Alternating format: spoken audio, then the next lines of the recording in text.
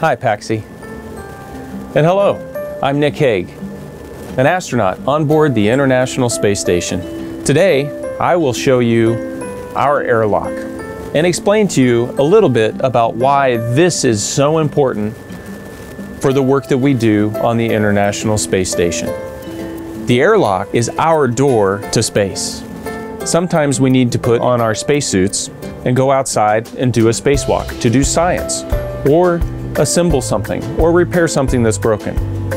This is a very unique experience, but it is also dangerous and difficult.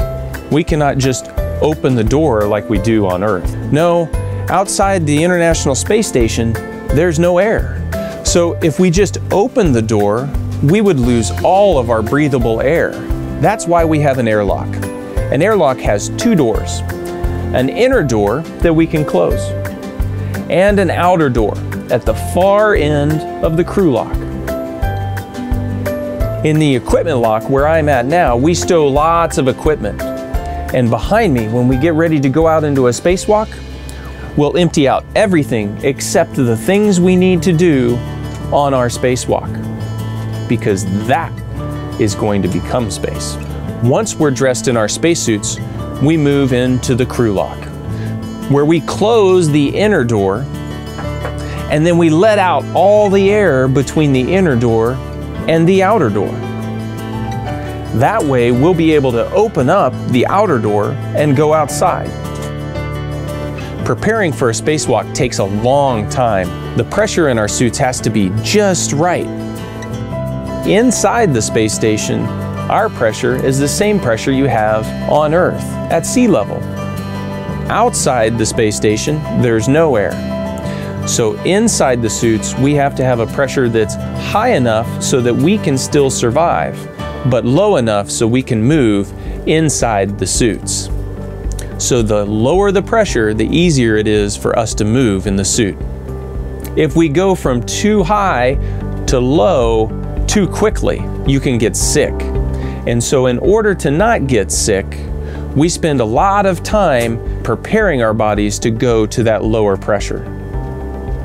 It's called pre-breathing. And it's something that scuba divers do on Earth all the time.